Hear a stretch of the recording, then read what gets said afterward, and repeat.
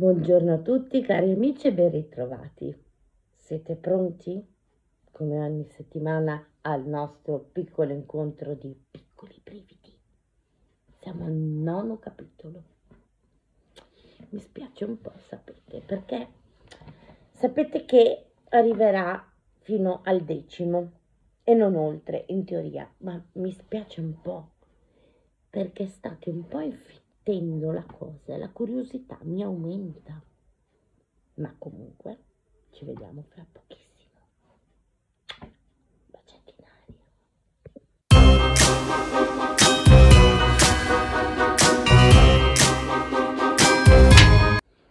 Eccoci qui, bentrovati a tutti, bentrovati, bentrovati, bentornati e bentrovati.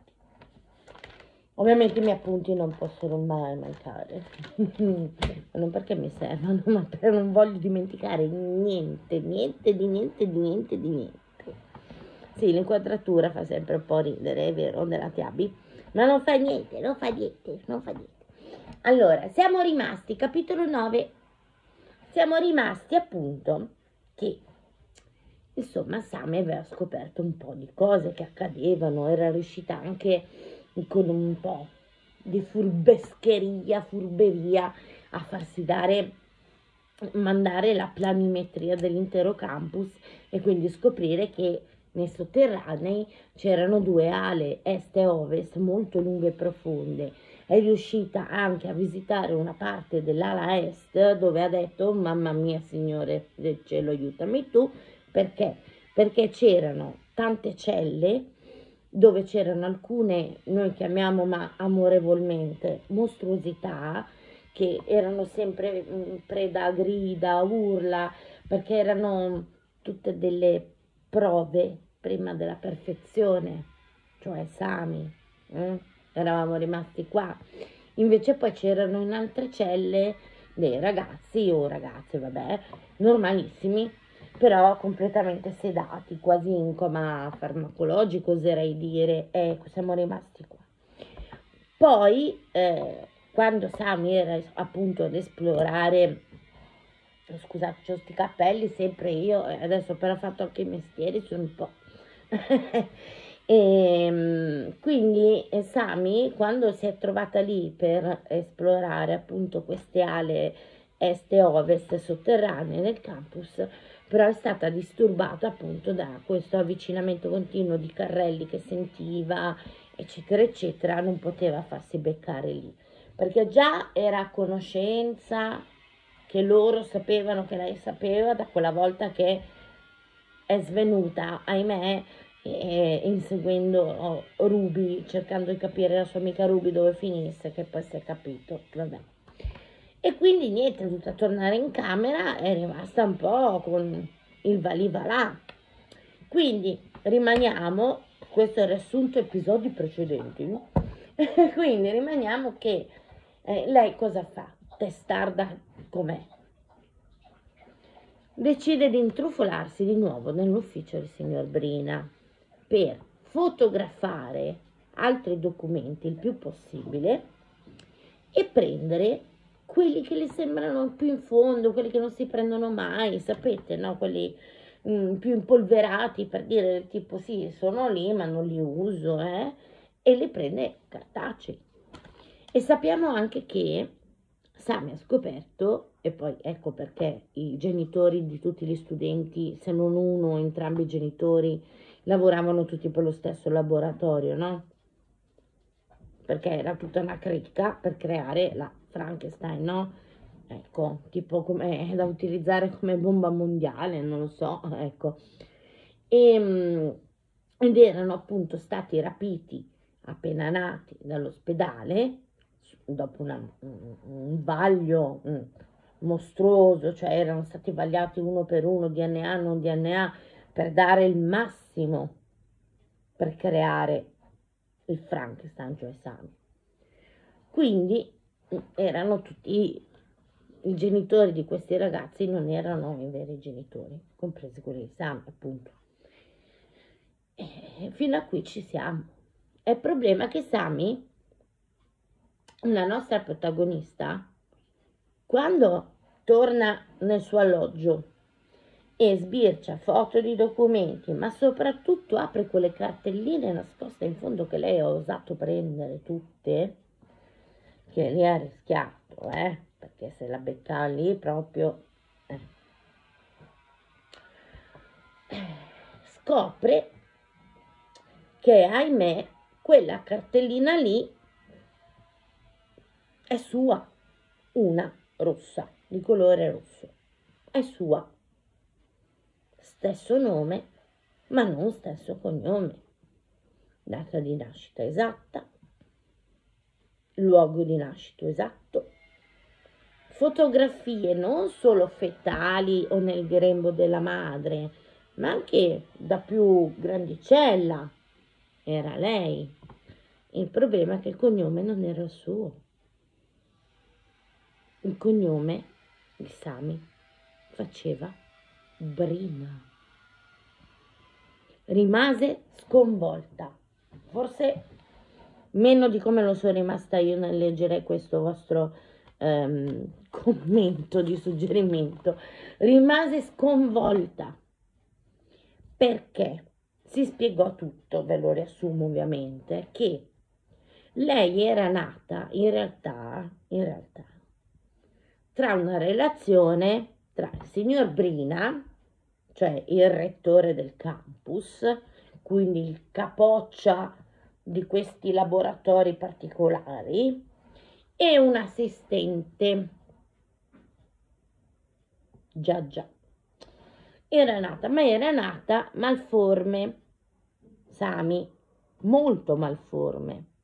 Perché il signor Brina, il caro amantino marittino, quel che l'era, eh, sulla donna incinta, la madre incinta, faceva già degli sperimentucci. Quindi Sami nasce molto malforme, estremamente malforme. Quindi in, com- in combinazione, in concomitanza con l'esigenza di collaborare per fare questa bomba atomica, tra virgolette, come dico io, ehm, di Frankenstein e l'esigenza e concomitanza di sta figlia metterla in ordine e non lasciarla deforme, ecco qui che nasce Sami e tutto questo burdello, giusto? Bene, mancano pochissimi giorni al nuovo test di preparazione al campus che, come sapete, ogni circa 20 giorni fanno per vedere appunto la preparazione degli studenti, eh, chi ne vale la pena, chi no, ma in realtà perché dopo circa 20-23 giorni Sami va cambiata, mm, va rinnovata. E quindi il tempo stringe, lei ha scoperto anche questa cosa qui che la manda fuori di testa, dice ma, ma, ma che caspita sta succedendo? Ma, ma scopre una roba una dietro l'altra, una peggio dell'altra. E niente, quindi aveva bisogno di tempo per investigare di più.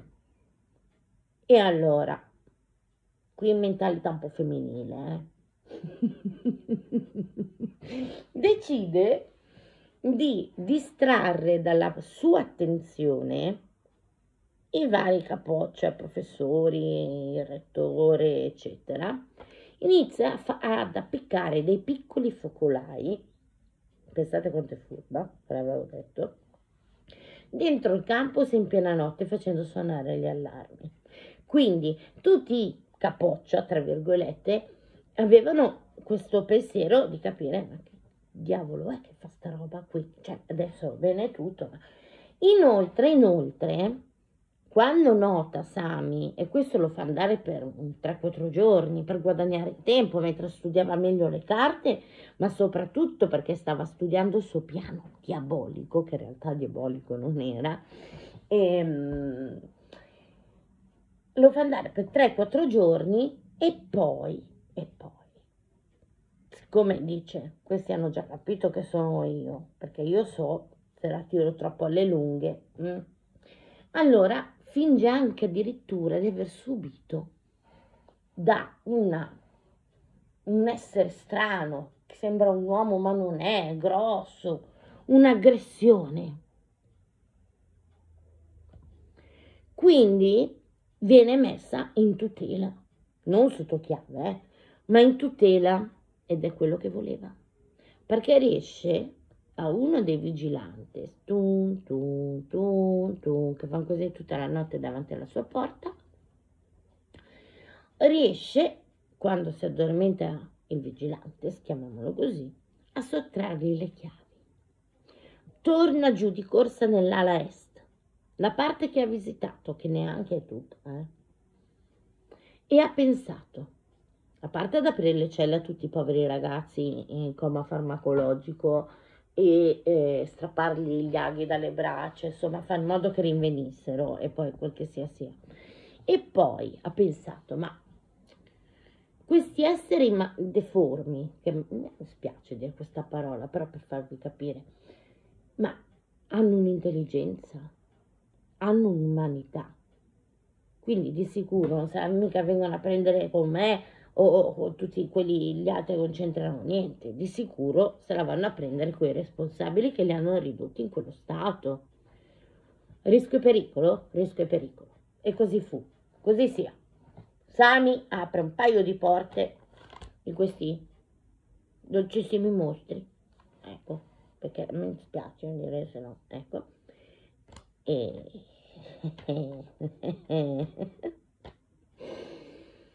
Ragazzi miei, non sbagliava Sami. I poveri malcapitati, ok? montati male, dai, diciamo così, si iniziano a invadere il campus di Oriland e autoliberarsi in tutte le ale, est e ovest, che erano infinitivamente lunghe. Quindi, prima di passare, sì, ho detto tutto, ragazzi, scusate. Quindi, prima di attendere i vostri commenti per il capitolo decimo, cioè quello finale, riuscirà Sami a salvare i ragazzi, quelli sotto sedazione ancora, insomma, trasportati lì che non sanno niente e, e, e rischiano la pelle. Ce la fa? Ce la farà?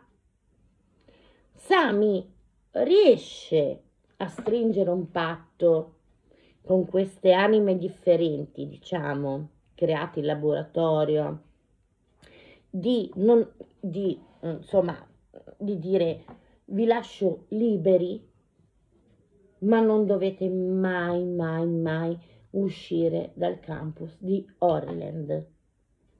Se me lo stringiamo il patto e me lo promettete, io farò in modo che nessuno venga a scovarvi, a darvi fastidio, la stessa cosa a voi con l'esterno. Ce la farà convincerli? Ci vediamo la prossima settimana con il nostro ultimo e decimo capitolo. Bacetti in aria.